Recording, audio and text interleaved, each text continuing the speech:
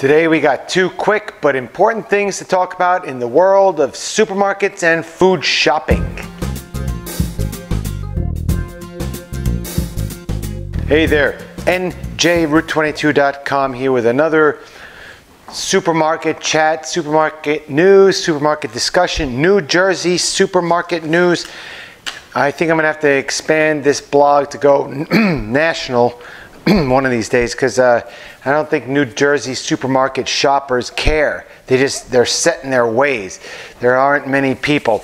I guess uh, enough people uh, nationally will can come together and shop smarter, but uh, maybe not New Jersey.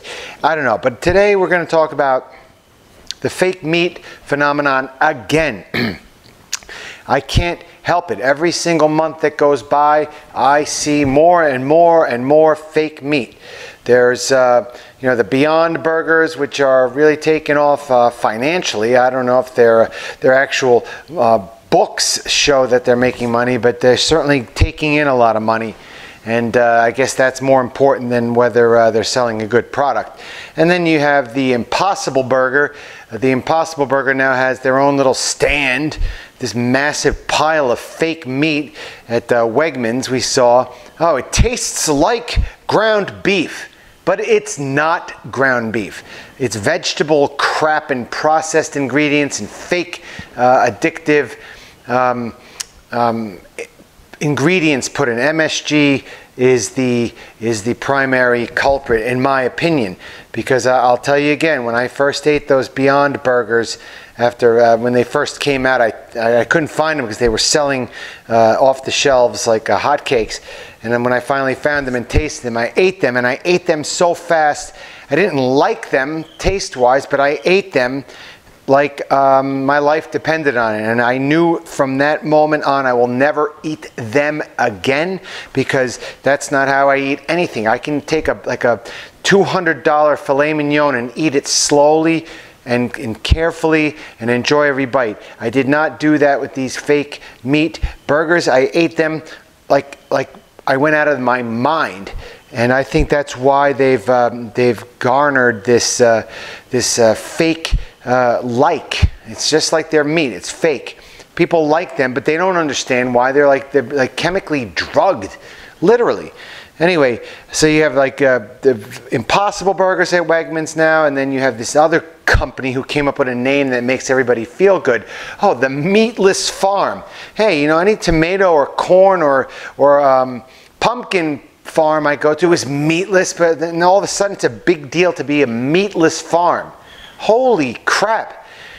Most farms are meatless. Like, yeah, uh, animal farms and pig farms and cow farms aren't meatless, but most uh, vegetable farms are meatless. I, I, don't get it. Like, they make it sound, they put the word meatless and farm in the, in the same word, in the same like sentence or title or name, and all of a sudden, oh, meatless, oh, it's so great. No, meatless is not great.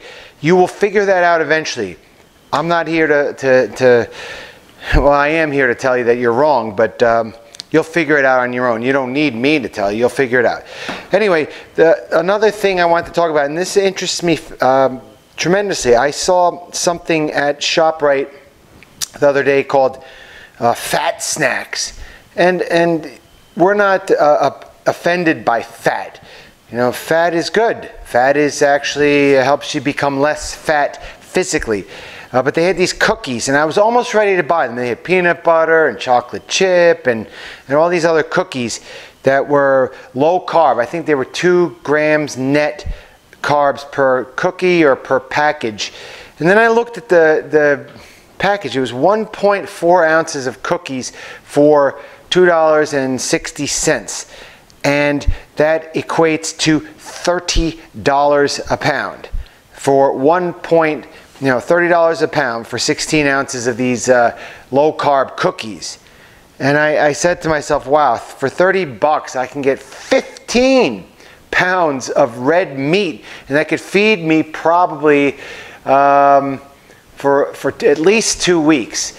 And these cookies uh, would not feed me for two weeks, and they're nutritionally probably void of anything valuable except the sweet sensation, the tactile feedback of crunch and swallow in your mouth. And, and again, we've said this in the past that I think the sweet sensation is something that you probably will eventually figure out is not something you want to have because it messes with your brain. It messes with your, your whole chemistry of, of it, it, it, it's, I, I am trying to figure out the right word here. It, it's, it's confusing for most people. It's confusing for your body too because sweet, it's like a drug, okay? Um, I ate some uh, delicious 73% uh, fat, uh, protein, 27% fat ground beef today, and it was that was delicious. And I, I haven't been hungry, and it just satisfied me. I stopped eating when I was full, and that was the end of it. There's no, there was no like, like euphoric feeling that the, the sweets give you, even when they're fake sweets, or erythritol. Um, we've been making mistakes uh, frequently with the erythritol because we're trying to figure out what it is, and I, I and that's my excuse for buying either the enlightened keto uh, a dish collection ice cream or the Rebel ice cream. Uh, sweets, sweets, sweets aren't good. But anyway, it's uh, $30 a pound for these keto cookies, and, uh, and there's no way that you know three dollars for two cookies is is uh, something anybody should do. Just uh, eat all blueberry and suck on it or something. It's a lot cheaper than the three dollar cookies. But I wouldn't even eat blueberries. So that's it. That's the supermarket news for November.